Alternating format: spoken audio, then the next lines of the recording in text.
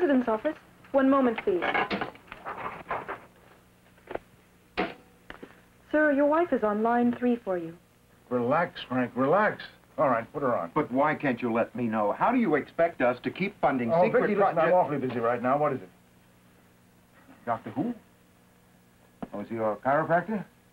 Oh, I see, your analyst. So he wants to cut you back to three visits a week. Well, why call me? No. Oh. No, absolutely not. This is your problem for you to work out. I really am very busy. I'll have to go. Darling, if he won't listen to you, why should he listen to me? That's right. I still love you. Goodbye, Vicky. Look at this figure. Yes? You're late for the board of directors meeting. Oh, right. Frank, what do you know about enzymes? Enzymes? Yes, the enzymes in your skin oil. Come on, you'll find out. Come on, Frank, you may start without us. Who start what? Professor Haggard from Research and Development. He's here for the demonstration. What demonstration? Along with the voice analysis, the sensors detect any change in the enzyme composition of the skin oil. Body chemistry cannot be altered, even under heavy sedation. As long as the body comes in contact with the receiver, it will be impossible to impede detection.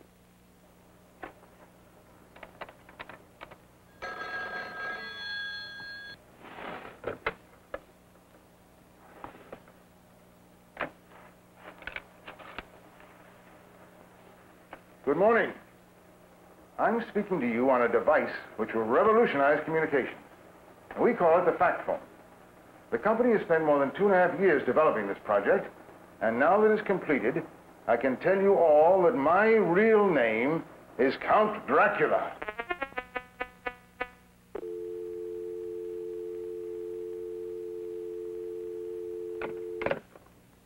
That's great. What the hell is it? The Factfone contains a sensing device. It will only allow a conversation to continue when the party holding it tells the truth. A lie detector. An infallible lie detector. I spent two years making sure of it. The circuits in the prototype are already into production and waiting to be installed. What? Now, this is not an instrument of punishment. It's not there to catch a liar in the act.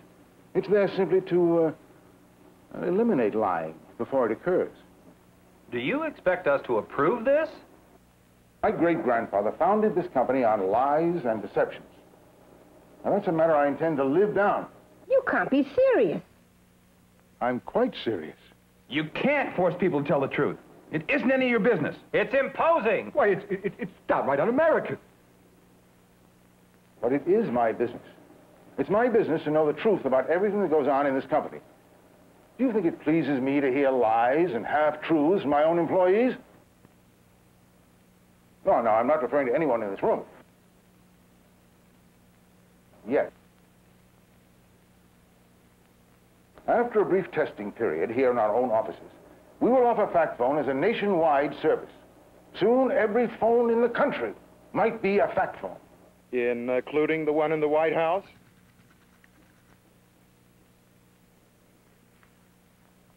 You'll find all the information and figures in this statement.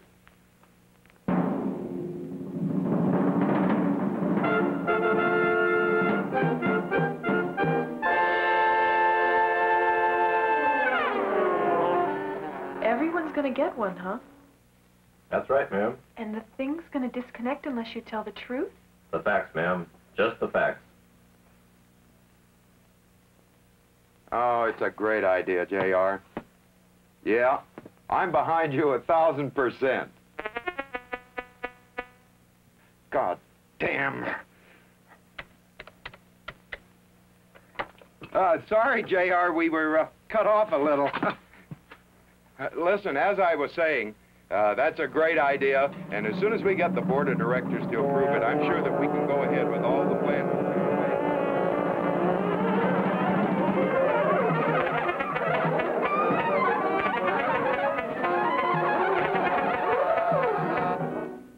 Yes, sir. He'll be right with you.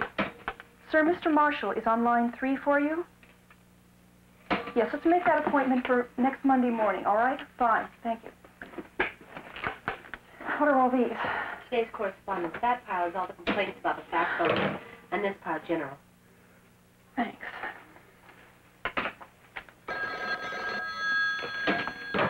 President's office. Hi, honey. How are you? Oh, hi, honey. How are you doing? Exhausted. It's been quite a day. No, not tonight, Freddie. I'm deluged with work here. Of course I want to see you, baby, but I just can't make it tonight. Hold on, Freddie. President's office? Put Marty on the line. This is his wife. No, I'll hold. Yes, ma'am. Listen, Freddie, I'd like to go with you, but I've already made plans for tonight. Hello? No, he's on another line. You want to hold? Okay.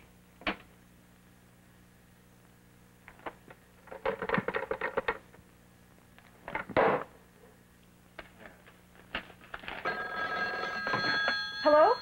See how do you hang up on me? If you want to see me, just say so. I have feelings too, you know. Freddie? But Don't bother. I don't need that from you or anybody. Freddie?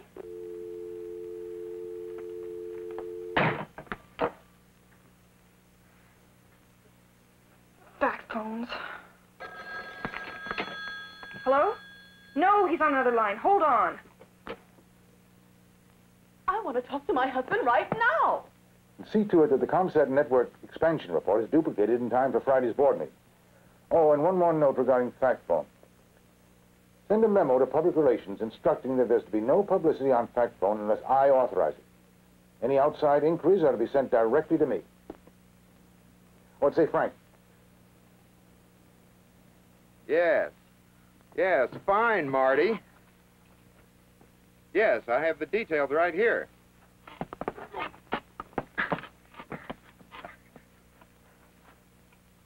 Uh, Marty, can we talk about this later, perhaps? Well, sure, Frank. Uh, I just wanted to know whether you had any trouble with it.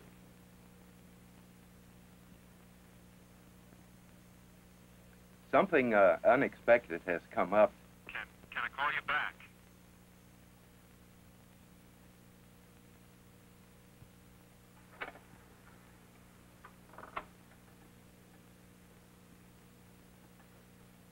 Um. No, he just stepped out of the office. Can he phone you back? What do you mean, give me confidence? Of course he can't call you back. Carrie will talk to him later. I want to talk to him first.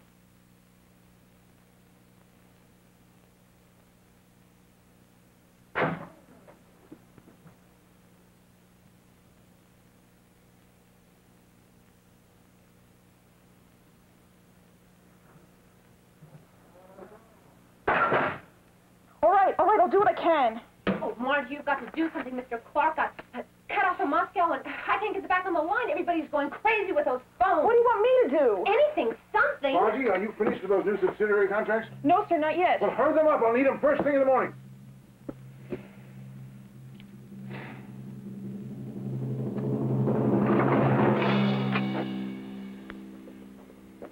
You haven't any right. What? Can't tell people how to run their lives. Now, what are you babbling The about? phones! The Factfone? I thought we went all through that. Now, don't tell me now you're against me, too. Well, I've changed my mind. Now, look here. I've had quite enough talk about Factfones for one day. I don't care what the employees, what the stockholders, or what you think of it. Let's drop the whole subject.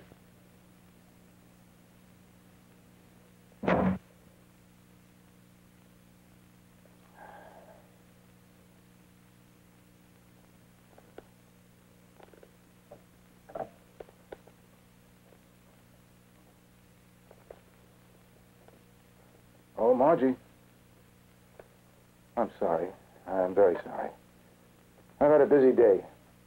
What do you think I've had? A picnic in the woods? Do you think I like working here late four nights a week? Wrong, Susie. Your way, right or wrong. Always organizing the messes you make and looking after them like a little boy, like a... Like a spoiled little boy. Then your wife calls. Maybe she should work here. It's too bad I'm not your wife.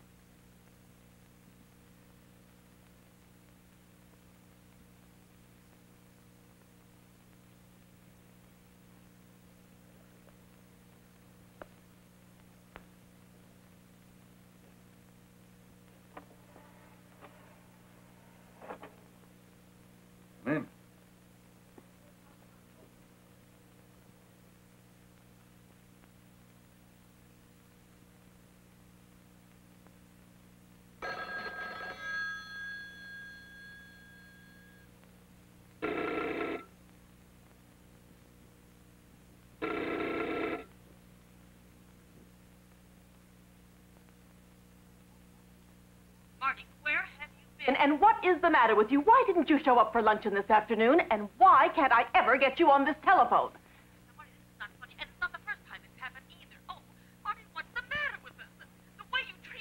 It's like you've got somebody else. Marty, are you in love with another woman?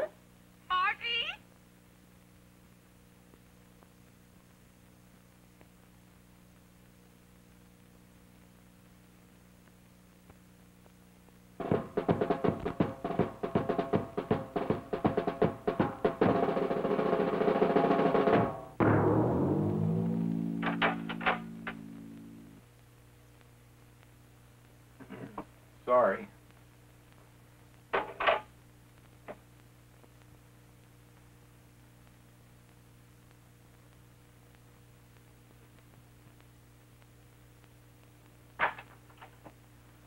Uh, Frank. Frank, uh, maybe you were right about the Factfones.